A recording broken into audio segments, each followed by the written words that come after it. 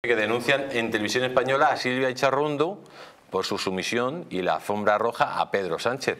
Es que ha sido patético lo de esta mujer, o sea, la bien pagada. Absolutamente. De, hecho, es como decir, venga, di todo lo que quieras, que como estás en la casa no va a pasar nada. Esto no va a trascender. Los españoles no se van a enterar. Es que es absolutamente lamentable. Y por otra parte, yo quiero felicitar a los compañeros valientes de televisión española. Me consta que llevan denunciando hace mucho tiempo este tipo de situaciones y que hoy también han sido muy valientes y también han, dado un paso al frente. A pesar de que eh, podrían jugarse el puesto de trabajo, ¿no? Entonces, eh, si nos están viendo, que sé que ellos siguen mucho también tu programa y al cierre digital y a muchos compañeros que los apoyamos, quiero que sepan que tienen mi apoyo totalmente y que no se pueden callar ante este tipo de situaciones lamentables y que además es una vergüenza para el periodismo. Pues efectivamente, todos los compañeros de televisión española que son valientes y que están, lógicamente le indigna estas eh, entrevistas, masaje, está, que dos compañeros que encima uno de ellos cobra 500.000 euros, se arrastren como gusanos para hacer una entrevista a un tipo que tiene a la mujer y al hermano imputados y el país roto y el Estado de Derecho derogado,